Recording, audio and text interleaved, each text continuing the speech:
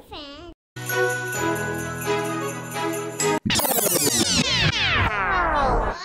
और बेचने सस्पाते बिल्ली का भोजन बन जाते वहाँ बिल्ली चुपचाप आके उनको खा देती थी। पसंद है हाँ चूहे पसंद है। हाँ। बिल्लियों का भोजन क्या है चूहे चूहे और चूहे। को खा लिया बिल्ली ने सारा अब एक है कहानी है। ये वाली सुनाओ कहानी। गडरिया वाली।